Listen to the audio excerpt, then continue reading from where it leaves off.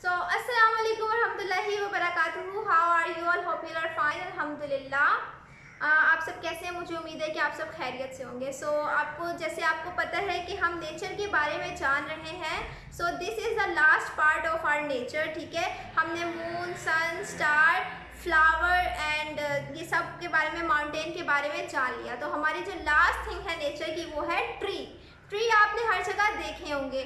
तो टीचर के पास तो है नहीं, कहीं टीचर बाहर गई नहीं। तो टीचर के स्कूल में ही एक ट्री है हेयर यू कैन सी तो टीचर अब इसके बारे में आपको थोड़ा सा बता देती हैं और फिर हम बुक पे वर्क कर लेंगे, ठीक है? तो आ जाइए।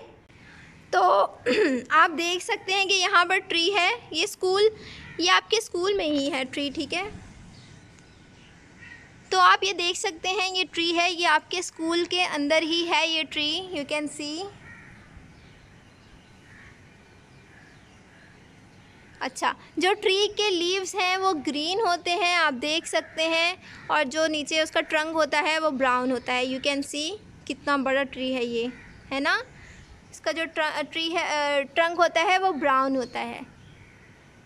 ट्री हमारे माशरे के लिए ट्री हमारे लिए बहुत ज़रूरी है, क्योंकि ट्री गिव्स अस ऑक्सीजन ये हमें ऑक्सीजन देते हैं। हमें फ्रूट्स वेजिटेबल्स हमें हमें छाँव देते हैं ट्रीज़ बहुत बहुत अच्छे होते हैं।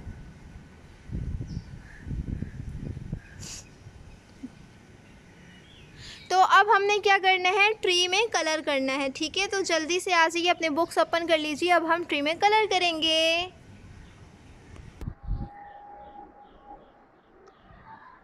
सो so, जल्दी से अपनी बुक्स ओपन कर लीजिए। Open the page number forty eight we have done mountain moon and star sun flower okay today we are going to do colour in the tree okay tree किस colour का होता है? Green so I to green colour for the tree leaves के लिए.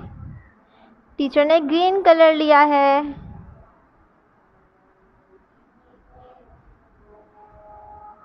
Okay.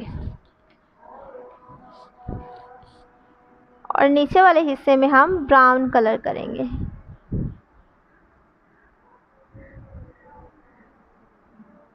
C I am done आपने भी इसी तरह कलर करना ठीक है। बहुत नीट एंड क्लीन टीचर अब आपको नेक्स्ट क्लास में मिलेंगी। तब तक के लिए हाफिज़।